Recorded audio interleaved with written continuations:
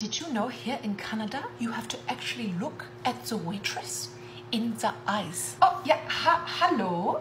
My daughter here is telling me that when you come to the table, I shouldn't ignore you. I have never in my life seen so many adult women wearing overalls. Do they think they are babies?